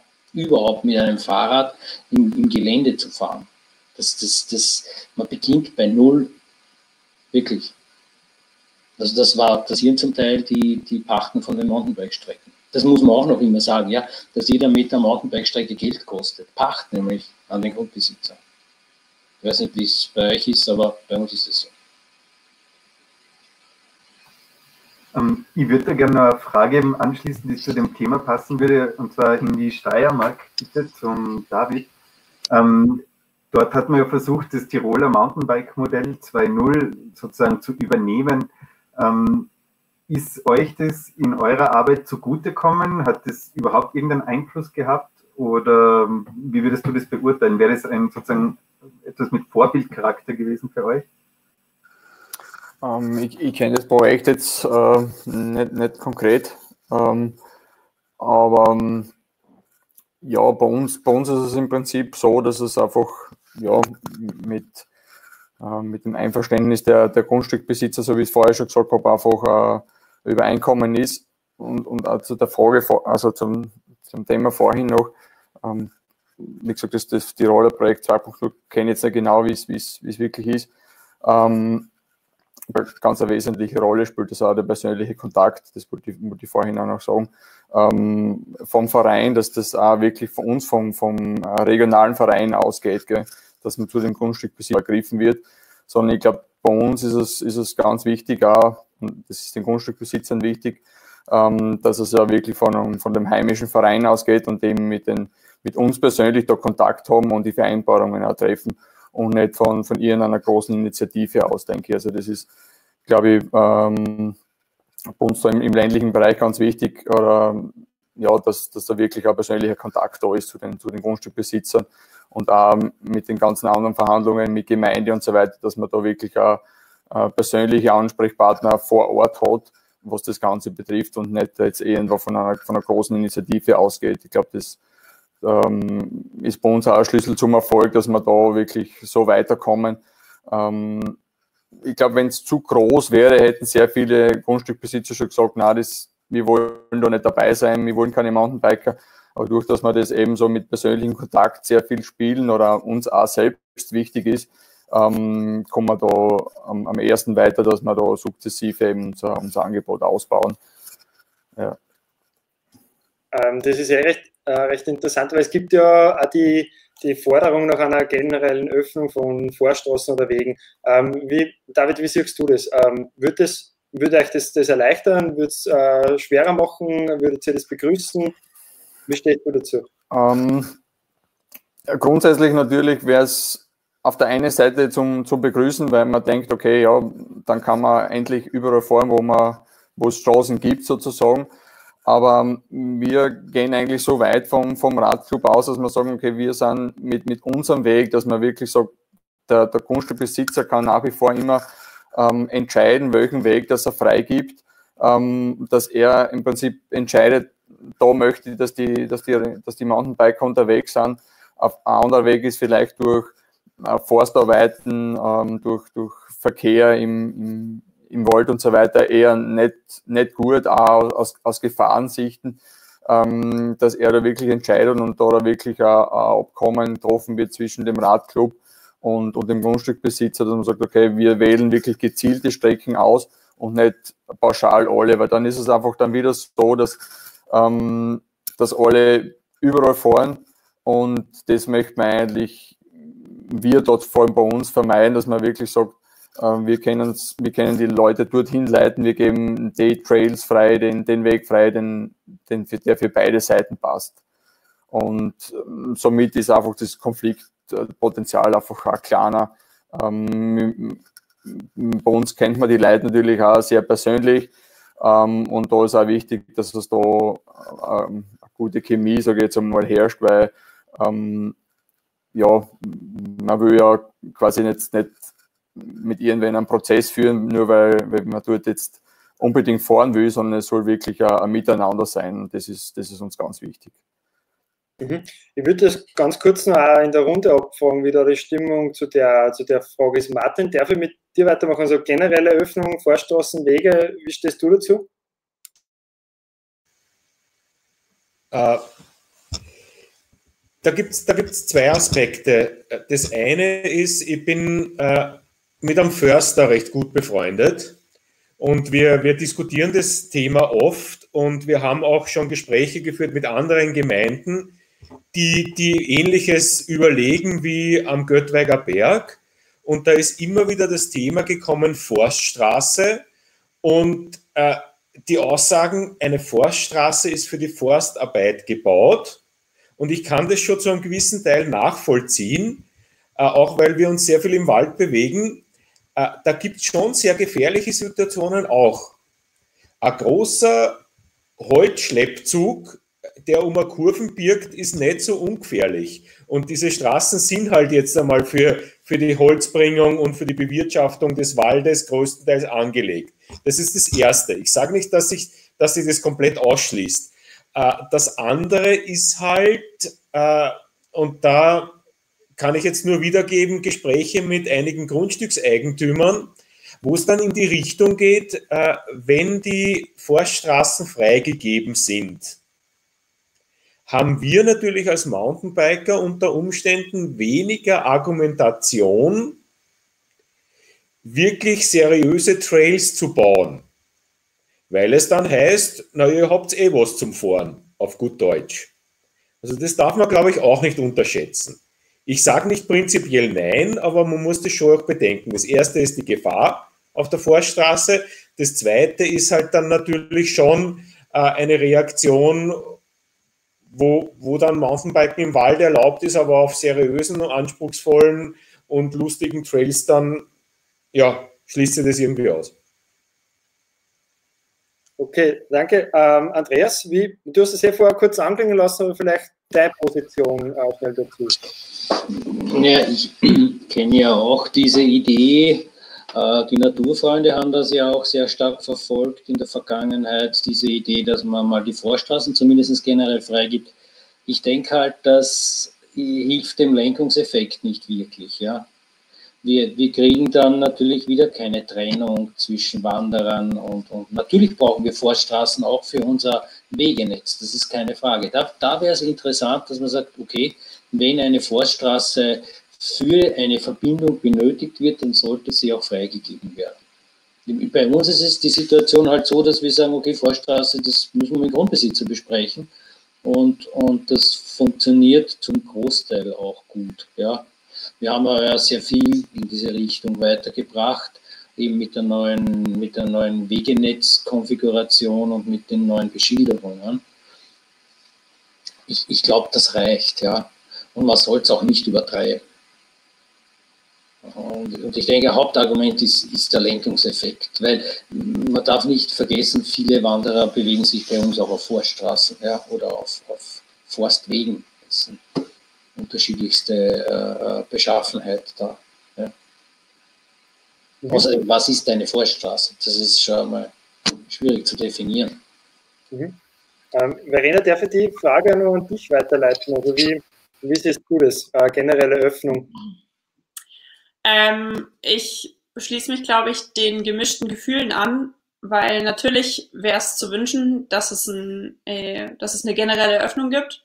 Dann ist es aber trotzdem so, dass man ja in Ballungsgebieten, so wie wir das vorhin zum Thema Shared Trail hatten, dass einfach der Nutzungsdruck gerade, also um Innsbruck gibt es einfach Stellen, die einfach sehr, sehr, sehr extrem sind.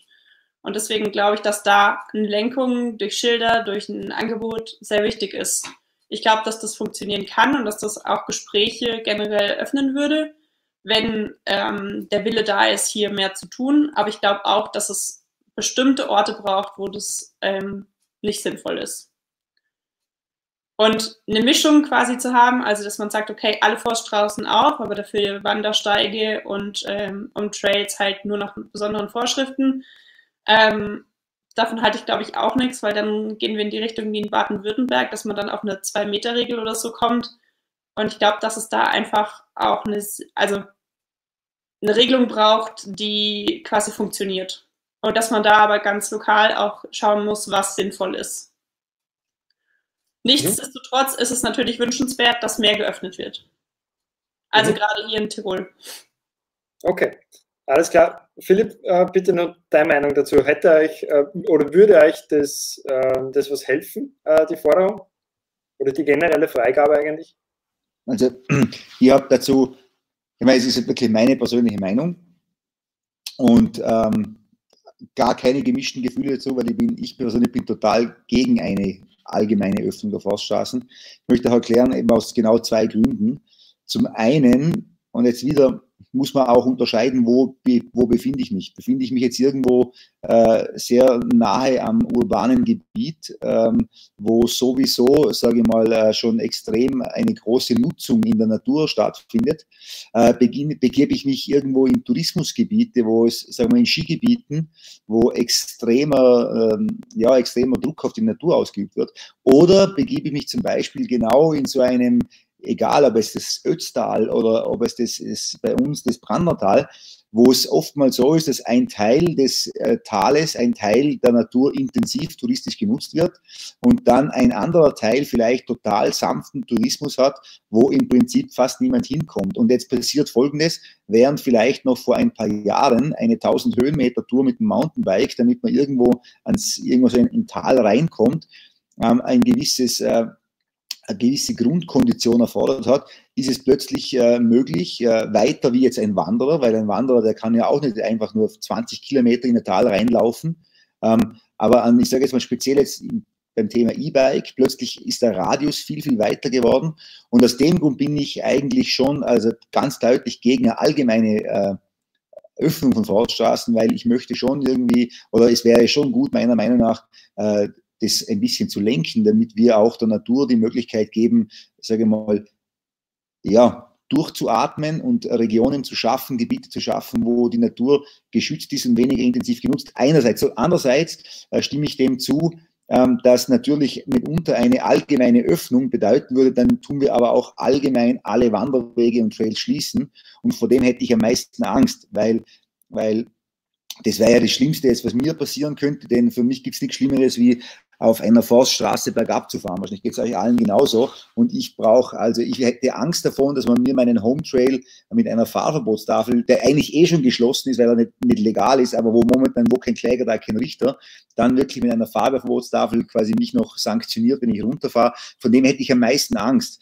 Meine Meinung ist es, wir sollten uns ganz gezielt herausschauen, okay, was wären sinnvolle Touren? Wo wären Trails, was wäre äh, was wär leicht zu erschließen, wo ist auch die Beeinträchtigung der Natur überschaubar? Und so weiter. Und da dann bewusst freigeben. Keine Rede, wir brauchen definitiv mehr legale äh, Mountainbike-Strecken, vor allen Dingen mehr legale Trails. Also das, das steht nicht in Abrede, aber gelenkt und ganz bewusst entschieden, wo wird gefahren und auch vielleicht untersucht und geprüft, warum gerade das an der Stelle Sinn macht. Und dann freigeben, beschildern und grünes Licht geben für solche Strecken. Perfekt, Steffen, bitte sehr. Ähm, eben jetzt ist bei uns im Forum äh, bei der Ankündigung zu diesem Talk ähm, die Frage mehrfach aufgetaucht, ähm, inwiefern solche lokal begrenzten Insellösungen und Erfolge, wie ihr sie ja alle vorweisen könnt, ähm, nicht auch sozusagen, so wie du es jetzt gerade erklärt hast, Philipp, äh, für die Leute, die jetzt zum Beispiel in einer Gegend wie Obersteiermark wohnen, ein Problem sein können, weil man dann sagt, ja, wieso, es gibt ja eh Hausnummer Bikepark Schladming, was braucht ihr in oben jetzt einen, einen legalen Trail? Aber das heißt dann eben ja für diese Leute, dass sie durch, also dass sie für die, sie das dann eher einschränkend wirken kann. Ähm, wie seht ihr diese Kritik oder, oder diesen Ansatz, dass es trotz solcher regionaler Erfolge ein, eine übergeordnete Lösung oder Freigabe oder, oder Möglichkeit bräuchte, auch in Regionen, wo es jetzt vielleicht kein, touristischen, kein touristisches Interesse gibt, äh, dort legale Möglichkeiten zu schaffen. Ich kann dazu gerne was sagen, also wenn, weil das auch ein, ein Thema ist, das mich sehr beschäftigt. Ähm, das ist eben auch gerade bei uns in Vorarlberg so.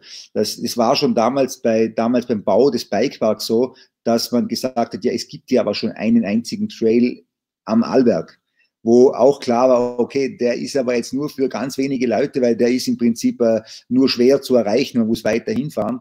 Ähm, und bei uns ist es wirklich aktuell genau eigentlich das Thema. Wir haben jetzt das Glück, einerseits eben im Brannertal uns da total auf Mountainbike zu konzentrieren, Trails zu bauen, Trails zu schaffen, aber eben Andererseits, in, im, weiß nicht, wer von euch schon in Vorarlberg war, im Rheintal, das ist im Prinzip von Feldkirch bis Bregenz mehr oder weniger durchgehend besiedelt. Da gibt es nicht wirklich ländlich, also halt ländlich, alles irgendwie ländlich, aber dicht besiedelt.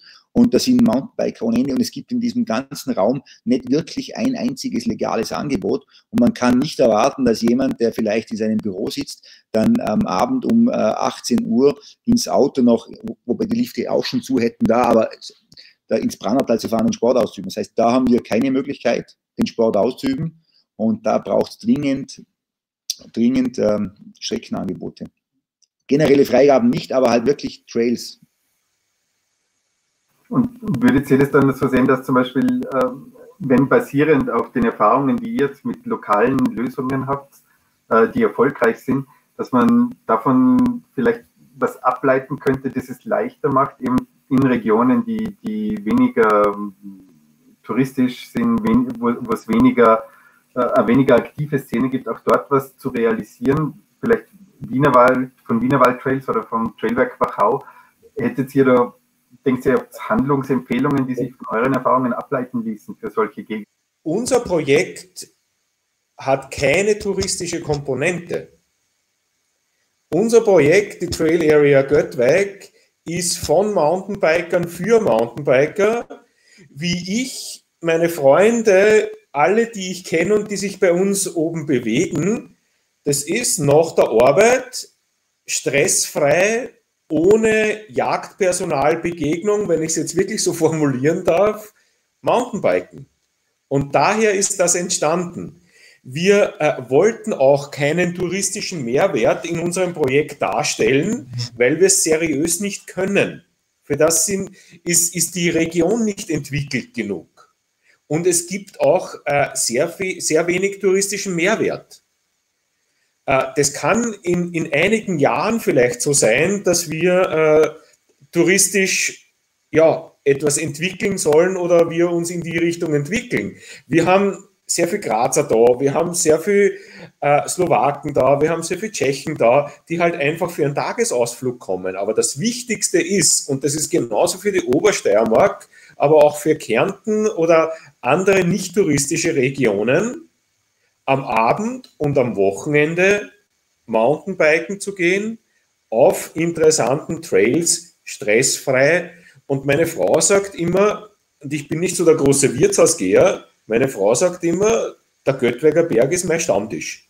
Und so ist es. Und ja, und deswegen glaube ich, sollte es mehr solche Initiativen geben, weil ich glaube, der David hat es gesagt, äh, auch aus der Region viel leichter zu verhandeln ist.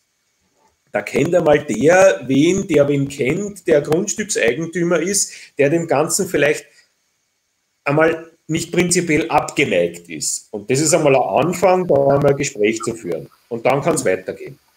Martin, darf ich, darf ich, da, da ergänzen, äh, beziehungsweise äh, erklären, ihr zahlt ja keine Pacht, soweit wir das gelernt haben. Wir waren ja bei euch mit unserer Weihnachtsausfahrt und haben uns da ja gut kennengelernt. Äh, das ist im Wienerwald nicht so. Also ich, ich sprich da jetzt im Namen des Wienerwaldtourismus das ist ja die Firma, die Organisation, die, die dafür zuständig ist, die auch Pächter ist für die Strecken. Und das ist schon ein großes Problem, weil äh, die, die Pacht für die Wienerwaldstrecken, das ist sicher jetzt höher geworden, ich schätze mal, die liegt irgendwo bei 90.000 Euro im Jahr. Und die muss da mal aufstellen. Und, und da, da geht es wirklich darum, äh, dass, dass da die Gemeinden einen großen Teil mitzahlen und die wollen natürlich Übernachtungszahlen sehen. Und, und die Wiener übernachten dort nicht. Ja? Und damit haben wir hier schon äh, ein, ein Problem, dass die öffentliche Hand hier nicht wirklich Interesse hat, äh, da Finanzierung zu unterstützen. Also wir, es gibt keine, keine oder fast keine Förderungen in die Richtung, sondern das muss, das muss selbst finanziert werden. Ja. Andreas, da, da gehe ich ganz mit dir. Äh, wir sind in der glücklichen Lage, keine Pacht zahlen zu müssen. Äh, wir, davon sind wir auch gar nicht ausgegangen am Anfang des Projekts. Äh, es ist aber, ich würde, ich würde für eine kleinere Trail Area unserem Verein auch zutrauen, dieses Geld aufzustellen. Also ich glaube, an dem soll es nicht scheitern. Äh, natürlich in, in, einer Dimension von Wienerwald Trails definitiv nicht zu machen. Nein, wir, wir, zahlen, wir zahlen nur für unseren kleinen Bikepark die Pacht, ah, ja. also im Weidlingbach, diese zwei, diese zwei Strecken. Äh, der Rest ist auch die Share Trails, die wir auch gestalten und, und bauen. Ja, wir haben sehr viel gebaut in dem Bereich. Äh, aber die Pacht zahlt Wiener Waldtourismus, Gott sei Dank. Ja, da sind wir auch sehr dankbar dafür. Und auch die Wegehaltungspflicht und die Beschilderungspflicht liegt beim Wiener Waldtourismus. Aber das kostet wirklich viel Geld. Ja. Heuer haben wir das erste Mal ein gutes Budget. Großen Dank an, an einen Herrn Vielhaber, der da, der da wirklich initiativ war und, und einen Durchbruch geschaffen hat. Ja. Aber das ist, das ist, glaube ich, das Problem. Also wenn man da im Rheintal versucht, ein, ein Streckennetz aufzubauen, was, was dort wahrscheinlich der Bedarf wäre, ja, um, um diese, diese, die, die Mountainbiker dort aufzufangen, dann wird es wahrscheinlich ein Finanzierungsthema auch sein. Ne? Definitiv, definitiv, klar.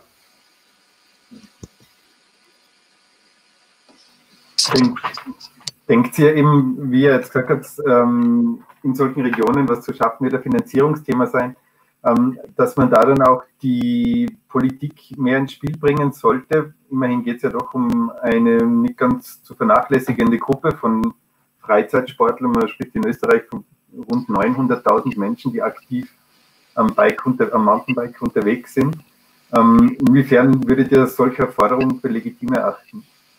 Ja, wenn, kann ich noch was dazu ergänzen? Ist, ist bei uns natürlich wie in Niederösterreich nicht einfach. Ja? Rot-Schwarz, da geht nichts. Ja? Also die, die Niederösterreicher sagen für die Wiener, die sind nur regional, die, die machen keine Übernachtungszahlen, äh, für die machen wir nichts. Und die Wiener sagen, in Niederösterreich investieren wir nicht. Punkt. Fertig. Ausdiskutiert. Ja. Also ja. Äh, die Politik muss man überwinden. Mehr habe ich nicht gelernt noch da bei dem Ganzen. Ja. Ganz, ganz am Anfang, äh, entschuldige, ganz am Anfang war ja auch das Thema, äh, wie man sich organisiert, ob man sich überregional und national organisieren soll. Unsere Lobby ist einfach zu schwach. Genau das wollte ich jetzt im Moment sagen. Es ist äh, gerade wie wenn das nach Drehbuch laufen würde, weil jetzt schließt sich gerade der Kreis von der kompletten, äh, vom kompletten Gespräch. Das ist ja der Grund eines äh, Vereinsgründung, weil eben als Beispiel jetzt, ich meine, es ist dort jedem klar, wie wichtig ein Fußballverein in einem Ort ist, der beschäftigt die, so, so viele Schulkinder, der gibt so viel, also, also wie viele Leute werden in einem Fußballverein bewegt? Also keine Diskussion. Ich möchte nicht eben tiptop. Kein Mensch diskutiert, aber man diskutiert schon auch. Aber es ist auch klar, dass Fußball auch die Gemeinden Geld kostet, weil die Plätze sind auch gepachtet, die werden instand gehalten und so weiter. Das kann man jetzt äh, durchspielen, einfach sehr viele Sportarten. Und ich sage mal so, wenn, wenn wir äh, als Mountainbiker eben genauso organisiert wären wie diese traditionellen Sportarten, die ihre Sportstätten haben, dazu vielleicht noch was danach, die ihre Sportstätten haben, dann hätten wir auch Sportstättenförderungen, beziehungsweise dann würde auch nicht in Frage gestellt werden, dass vielleicht eben auch Pacht zu bezahlen ist für unsere Trails.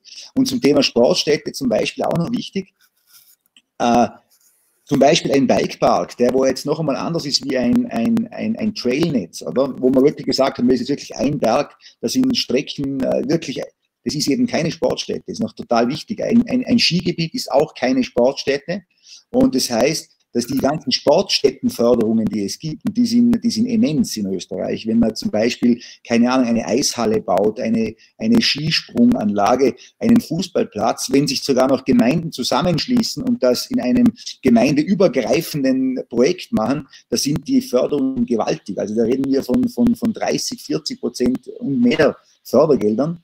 Das gibt es halt beim Trail-Thema nicht. Und wenn wir besser organisiert wären, mehr Vereine hätten, mehr Lobby hätten, dann glaube ich, würde eben, wäre es eben auch möglich, zum äh, Sportstätten für Mountainbiker zu bauen. Also, Vielleicht dazu. Entschuldigung. Moment. Ah, jetzt. Ähm, ich glaube, dafür ist es aber ganz wichtig, dass Mountainbiken quasi aus dem Wald rauskommt und sichtbar wird, weil Mountainbiken passiert jetzt in einem Gelände, wo jetzt quasi jemand, der sich mit dem Thema nicht auskennt, ihr habt vorhin gesagt, man muss denen auch erstmal erklären, was wir da überhaupt machen. Also sich auf ein Fahrrad setzen und es geil zu finden, über ein Steinfeld oder eine Wurzel rüber zu fahren, das ist für jemanden, der damit noch keinen Berührungspunkt hatte, einfach schwierig zu verstehen. Und ich glaube, also das ist auch eins der Themen, die wir hier äh, versuchen, ist, dass man quasi ähm, ja ein Gesicht entwickelt und das Thema einfach in eine gewisse Lobby hebt und dem Ganzen eine Stimme gibt, ein Gesicht, das sichtbar ist. Und zwar auch nicht nur in der Bike Bubble drin, sondern auch außerhalb.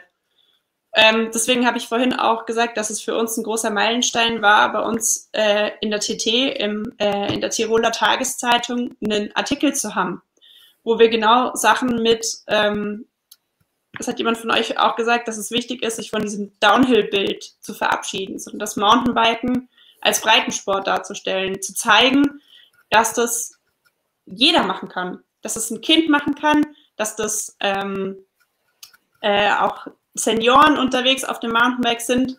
Ähm, das ist einfach ein Bild zu zeichnen, das ganz breit ist und dass es einfach nicht darum geht, ähm, nur jetzt total in die Gravity-Richtung ähm, äh, auf den aggressiven Charakter, so wie er auch oft verwendet wird, ähm, hinauszugehen, sondern einfach, dass es was Cooles ist, was Spaß macht und was irgendwie auch für eine breite Masse, so wie Fußball funktionieren kann. Und dann, glaube ich, da können wir theoretisch alle zusammenarbeiten und ähm, uns was Cooles überlegen. Ähm, danke, Verena. Ich glaube, kann man das zusammenfassen, äh, den Stellenwert vom Sport äh, in der Außenwahrnehmung auch zu heben, oder? Ja, und also mir ist die, die Sichtbarkeit, nicht nur den Stellenwert, sondern auch, dass es, dass es, dass es greifbar wird.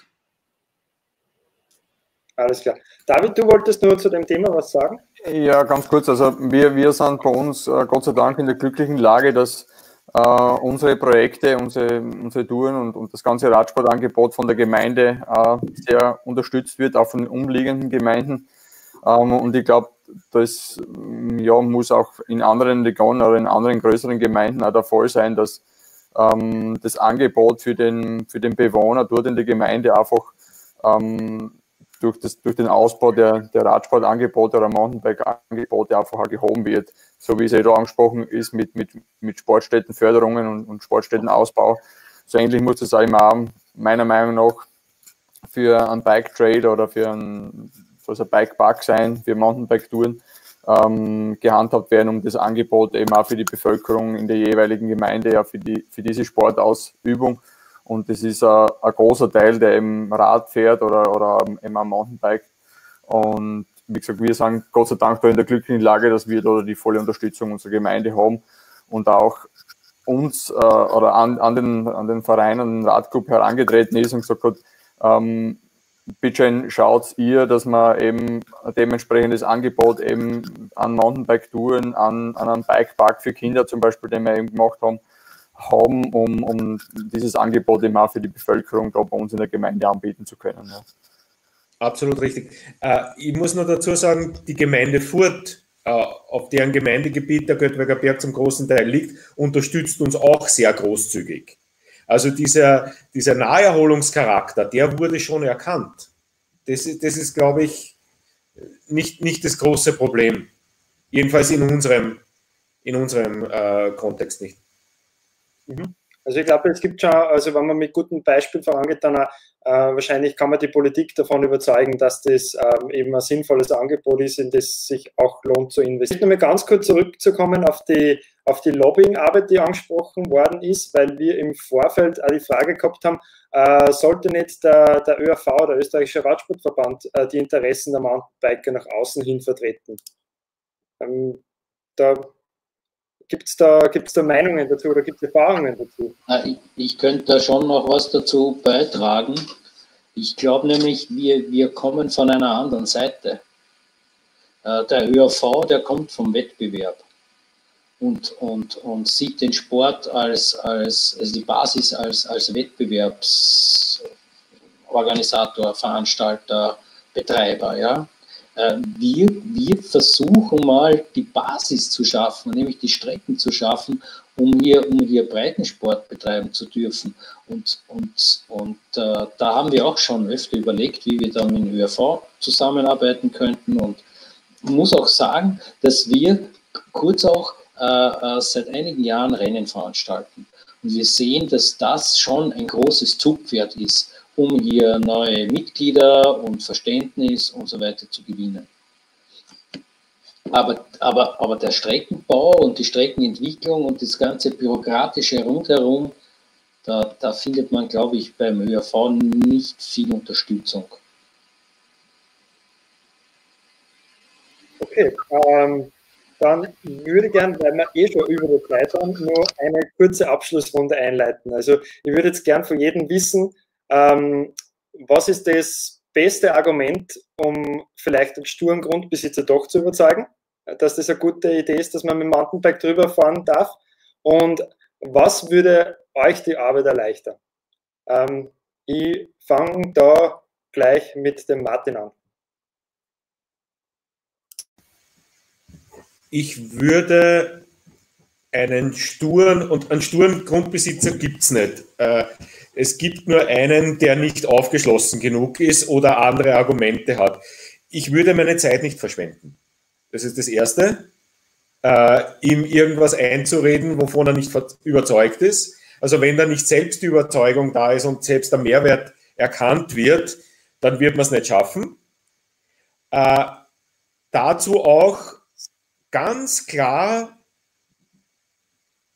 bilateral die die Trails bauen und Grundstückseigentümer den Mehrwert definieren.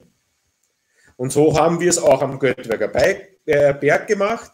Das war hier zu entflechten. Wanderer auf Wanderwegen, Mountainbiker auf Mountainbike-Trails und so wenig Berührungspunkte wie möglich. Und eine ganz liebe Geschichte noch dazu, abschließend. Ich habe dann den Abt Kolumban einmal privat getroffen und er hat mir gesagt, sein größtes Ziel ist einfach, junge Leute um das Kloster zu haben. Er hat sogar gesagt, sie müssen nicht unbedingt in die Kirchen kommen. Aber wenn es ihr schafft, mehr junge Leute um das Kloster zu bekommen, haben wir wieder ein Ziel erreicht. Also wirklich Mehrwert definieren, für den Grundstücksbesitzer. Äh, was uns das Leben erleichtern würde, jetzt in der Phase, die wir sind, jetzt gibt es uns zwei Jahre, ist ein bisschen mehr Sensibilität bei manchen Fahrern. Wir haben mittlerweile ein bisschen ein Problem mit Strava, weil unsere Trails, die teilweise Wanderwege kreuzen, werden als Rennstrecken missverstanden. Und da wird auf dem einen oder anderen kurzen Wegstück, den wir, das wir gemeinsam teilen mit, mit Wanderern, teilweise die Ellbogen ausgefahren, nur um bessere Strava-Zeiten zu erreichen. Also ein bisschen mehr miteinander statt gegeneinander wäre gut, weil das doch einige Leute sind, ganz wenige, die so ein Projekt gefährden könnten.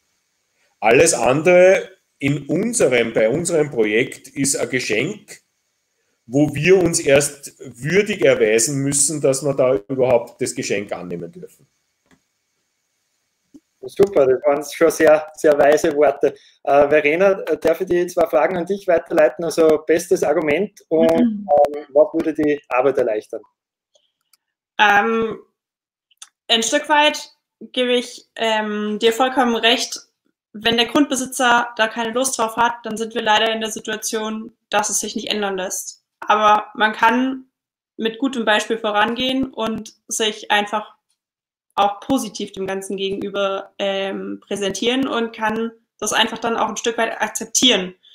Ähm, ein gutes Argument ist, glaube ich, einfach auch zu zeigen, wo es gut funktioniert und wie ihr vorhin erzählt habt, Best, äh, Best Practice Beispiele auch an den Grundbesitzer dran zu tragen. Und er muss von sich aus verstehen, dass es sinnvoll ist und dass es was Cooles ist, was er damit unterstützen kann.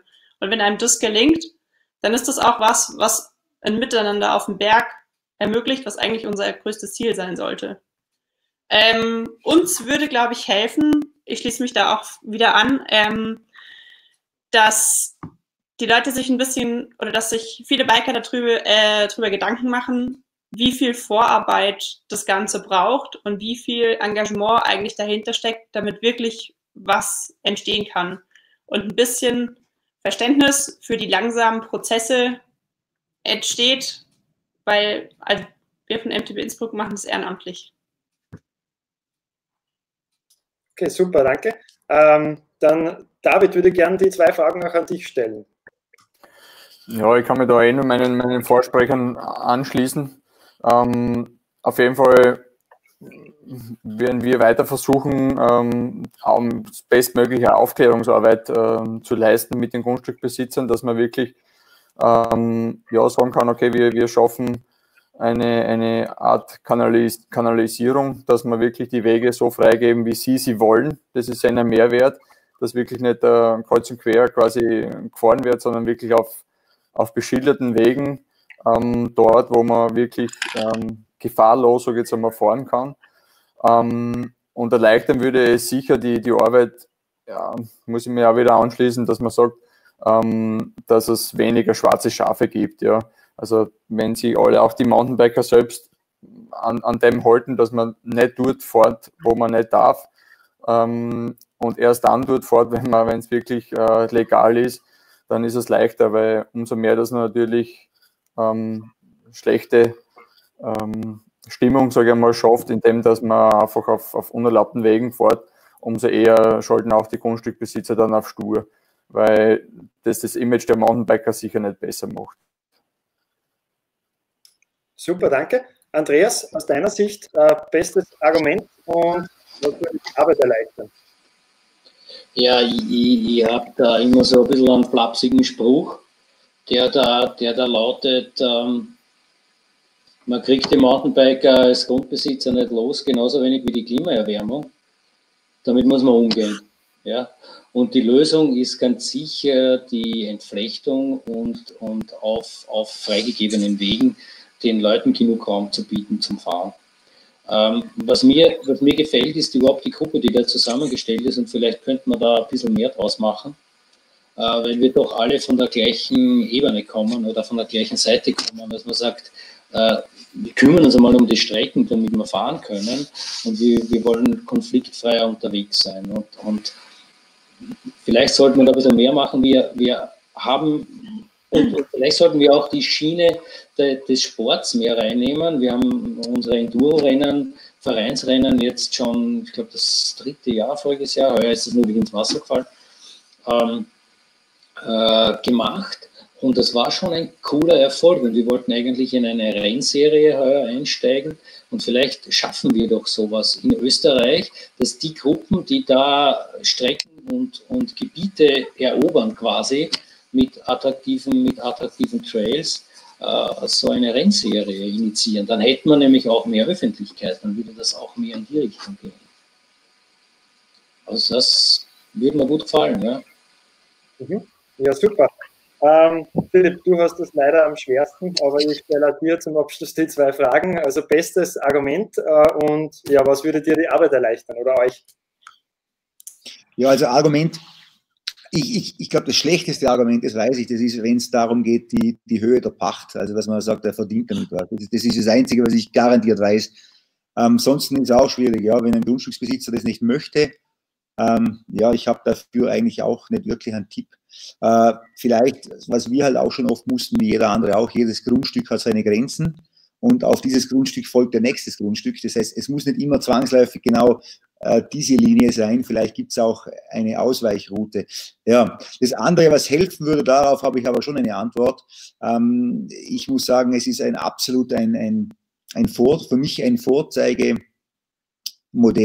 des Mountainbike, äh, des 2.0 Projekt, äh, Modell aus Tirol im Prinzip, wo es darum geht, äh, Beschilderung, Normierung, Haftung, äh, versicherungstechnische Geschichten. Das heißt, wie muss ein Trail beschaffen sein, äh, äh, wie muss er abgesichert sein, wie muss er beschildert sein, wer haftet, wer. So diese ganzen Fragen in einem offiziellen, in einer, einer vielleicht auch österreichischen Norm wirklich abzubilden, so damit, wenn eben jemand hergeht und eine Initiative gründet oder was, was machen möchte, damit der nicht jedes Mal das Rad neu erfinden muss und sich ein Konzept erarbeiten muss oder vielleicht teuer teuer einkaufen bei einer erfahrenen Firma, Consulting, die es schon gemacht hat.